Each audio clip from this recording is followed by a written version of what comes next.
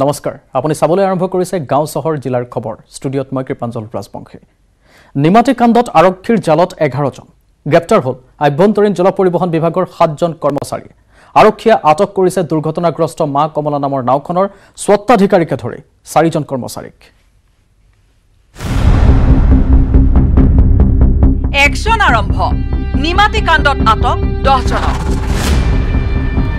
আঠ ছেপ্টেম্বৰত যোৰহাটৰ নিমাতী ঘাটত সংঘটিত নাও দুৰ্ঘটনাত অভিযুক্ত দহজনক আটক কৰিছে আৰক্ষীয়ে।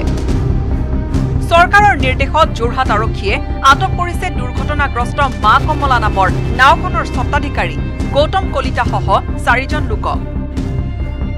ধৃত নাওখনৰ গুৰিয়াল Prashanta Pamegam engine driver Badan Dutta collector Bipul Bora. নাওখনত কৰ্মৰত পূৰ্বৰ অভিজ্ঞ লোকসকলক আঁতৰাই কম টকাত মালিকে নিয়োগ কৰিছিল অনভিজ্ঞ লোকক।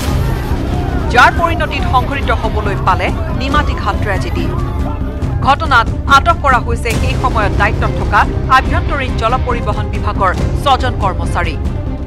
আটকাধীন গুৰিয়াল ধনবৰ দাস। ঘাটৰ সহায়ক যোগেন দত্ত। খালাচী বিনোদ বৰুৱা। তিনি মাষ্টাৰ ৰোলৰ কৰ্মচাৰী ক্ৰমে বিজু কুমাৰ দাস জয়ন্ত দত্ত বাবুল চন্দ্ৰ নেওগ।